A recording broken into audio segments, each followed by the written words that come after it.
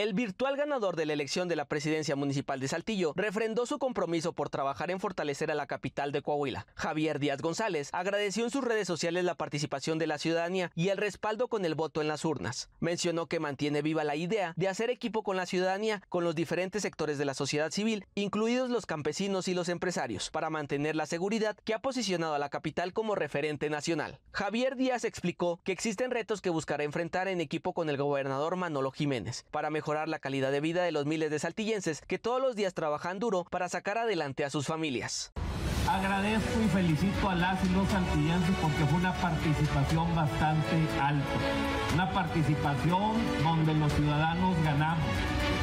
Este es un proyecto ciudadano donde las y los saltillenses que amamos a Saltillo vamos a tomar las decisiones Vamos a enfrentar los retos que tenemos como ciudad. Vamos a empezar a escribir una nueva historia.